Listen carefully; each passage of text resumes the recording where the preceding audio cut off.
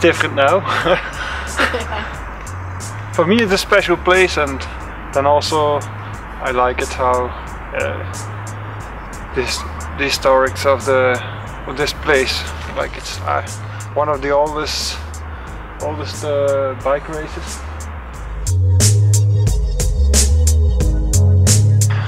I wasn't thinking that I was gonna win. I I knew I would be good. Um, um, I don't have to say. I knew I would be would be in a good break and because I felt my legs, but then it's not a guarantee for winning. So um, we talked about it already a few months before, and um, then it, it came in my mind, and I asked. I was um, four year four years in a board school, and I did um, before I did athletics, and I tried to do it there also a little bit. But my, when I came home during the weekend, my father in the morning he went out riding on his mountain bike. So I went with him, and uh, he went with a few friends and some uh, people out in the neighborhood. And they said, "Yeah, um, he rides quite uh, fast. You should go racing. You should go racing." And then um, a guy from a local um bicycle team they, they, they came to my house. Yeah, I pay you your license, and you're gonna do uh, and you if you want to start racing. I said, okay, I will try it. And then in the beginning, I was riding a, a really old bike and. I didn't know how it was going because my parents never raced or we came at the at, at the at the race and yeah how does this work? So we first time getting a number and everybody was already with the new bikes and I took an old bike from my father with the cables like this and with the the shoe clips uh, and I was dropped in the start because everybody uh, yeah, they, they clicked in the pedals and, and they were gone, and I had to pull on the straps uh, for, for the for the clip. So and then uh, my father said, "Yeah, this is not working." Like, and so, so I, I liked it, and he saw I liked it, and then he, he bought me another bike.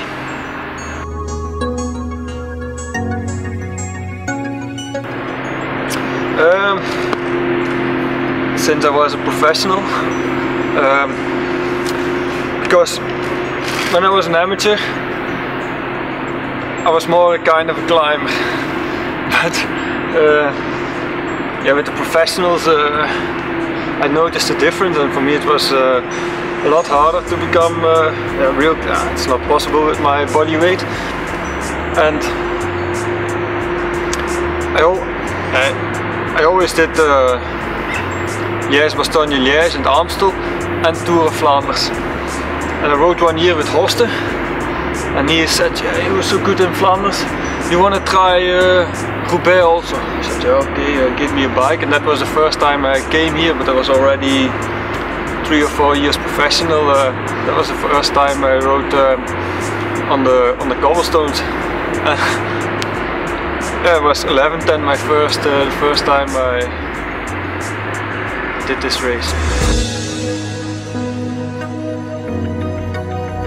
Uh, yeah, I crashed one time uh, the, the section before Arenberg, but yeah, like, okay, it was a hard crash then, but I didn't break anything or yeah, there happened so many crashes in racing, so it's, it's, there are some risks involved uh, during racing. I'm not gonna tell it on camera.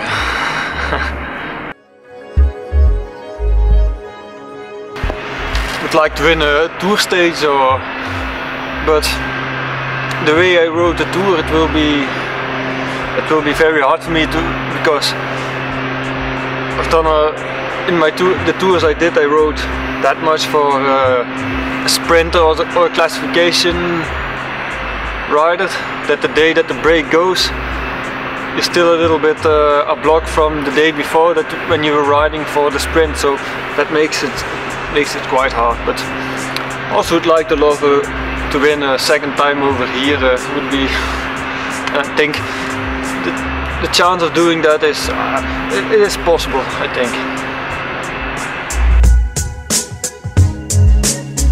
First time I tried it uh, was in uh, Milan San Remo I think two years ago and uh, they gave it to us the day before the race.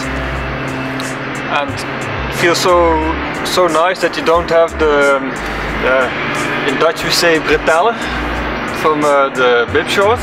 So it's, it's really comfortable on the shoulders and there's nothing pulling on you or it, it, sometimes with, with, the bib short you have that the, that the straps are pulling on your shoulders or something is tight and uh, and the, the Sanremo speed suit just fits everywhere really nice. No, it's, it's just so comfortable and then you have the benefit that it's um, also very aerodynamic so uh, that's but I would I would wear it even if it was less aerodynamic because it's, it's so comfortable.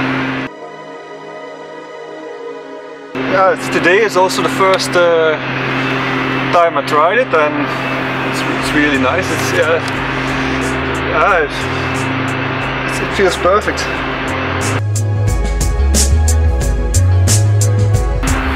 The evolution in, in cycling uh, clothing is, is, is, really big. I feel the difference now with the Castelli clothing since the beginning of my career and you get more cooling uh, in the winter you stay warmer with the Gabba vest. The Gabba vest is also something, it's, it's an amazing product. You, you can race with it. Normally if you have to wear uh, a, a, plastic jacket uh, for the rain, you, then you get really slow because it's just like a parachute. And with the Gabba vest, it's yeah, that's really aerodynamic and um, it does its work really really good so it's, one of uh, I think Castelli makes really uh, innovative uh, products